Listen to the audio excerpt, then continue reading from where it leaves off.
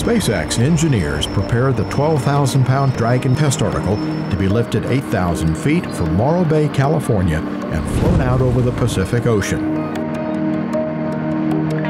SpaceX employees worked around the clock on the days leading up to the company's parachute test. Heavy wind, dense fog, and high seas along the coast of California didn't deter their enthusiasm as they prepared to test the parachute system that could safely splash down NASA's astronaut crew following an in flight anomaly.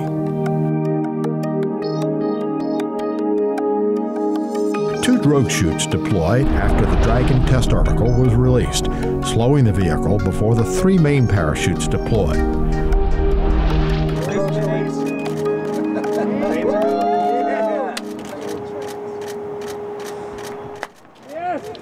Vehicle splashed down and was quickly recovered by a helicopter and carried approximately nine miles back to shore. SpaceX is one of NASA's commercial partners, working to develop the next generation of U.S. spacecraft and rockets capable of transporting humans to and from low Earth orbit from American soil.